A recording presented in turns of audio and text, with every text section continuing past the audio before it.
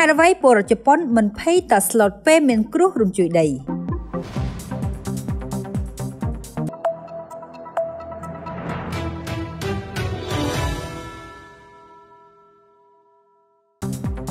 គេសង្កេតឃើញថាប្រទេសជប៉ុនបានជួបហេតុការណ៍គ្រោះរំជួយដីជាច្រើនលើកប៉ុន្តែហេតុអ្វីពលរដ្ឋជប៉ុនមិនភ័យតក់ស្លុតពេលមានគ្រោះរំជួយដីកើតឡើងពលរដ្ឋជប៉ុនគ្រប់រូបបាននៅស្ងៀមស្ងាត់និងមិនភ័យតក់ស្លុតហាក់ដូចជាគ្មានរឿងអ្វីកើតឡើងពលរដ្ឋជប៉ុនគ្រប់រូបបានទទួលការវឹកហាត់តាំងពីកុមារអំពីវិធីការពារខ្លួននិងអ្នកនៅជុំវិញខ្លួននៅពេលកើតគ្រោះរំជួយដី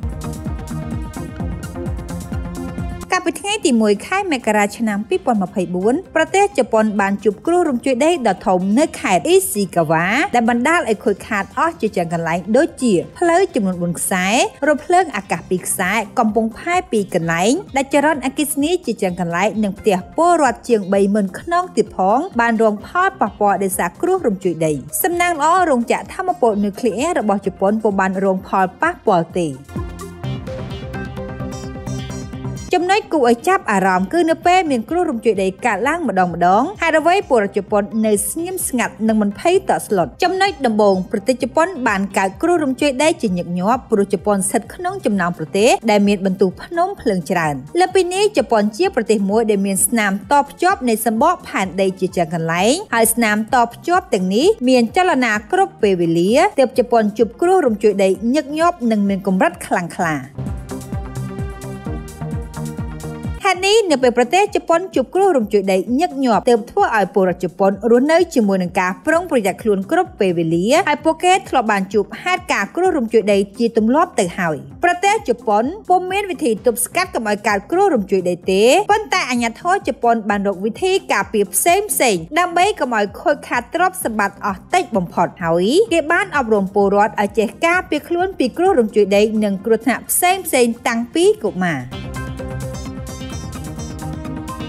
កមន្ត្រីរាជការជប៉ុនក៏បានវឹកហាត់ពីវិធីការពារខ្លួនជាប្រចាំផងដែរដូចជាការរៀនចម្អិនអាហារដើម្បីចែកឲ្យពលរដ្ឋក្នុងអំឡុងពេលមានគ្រោះរំជួយដីកើតឡើងប្រព័ន្ធប្រដំណឹងអំពីគ្រោះថ្នាក់ផ្សេងៗនៅជប៉ុនមានសារៈសំខាន់ខ្លាំងណាស់គឺមុនពេលកើតហេតុឬក្នុងអំឡុងកើតហេតុរដ្ឋាភិបាលជប៉ុនបានប្រកាសជូនដំណឹងទៅកាន់ពលរដ្ឋភ្លាមៗតាមរយៈវិទ្យុទូរទស្សន៍រួមទាំងទូរស័ព្ទដៃផងដែរ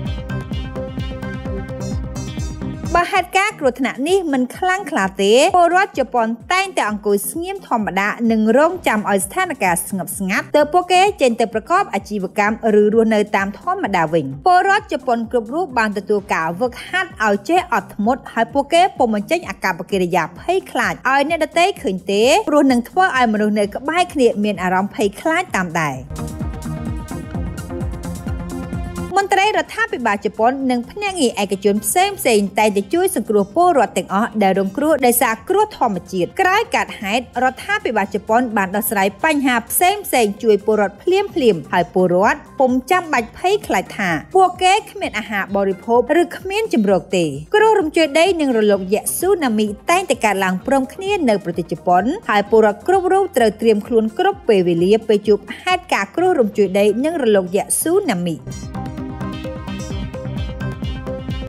សេតេបង្ហាញថាប្រទេសជប៉ុនបានកើតគ្រោះរំជួយដីកម្រិត5ចាប់ពី60លើកទៅ70លើករីឯគ្រោះរំជួយដីកម្រិត7កើតឡើងយ៉ាងតិចមួយឆ្នាំម្ដង ចំណែកគ្រោះរំជួយដីកម្រិត8បានកើតឡើងរៀងរាល់8ឆ្នាំម្ដង សរុបមកក្នុងមួយខែមួយខែពលរដ្ឋជប៉ុនបានជួបគ្រោះរំជួយដីចាប់ពី5លើកទៅ6លើកដែលវាជាចំនួនមួយខ្ពស់បើធៀបនឹងប្រទេសផ្សេងទៀតហេតុនេះមិនចម្លែកទេដែលពលរដ្ឋជប៉ុនអាចការពារខ្លួនបានយ៉ាងល្អនៅពេលកើតគ្រោះរំជួយដីម្ដងម្ដង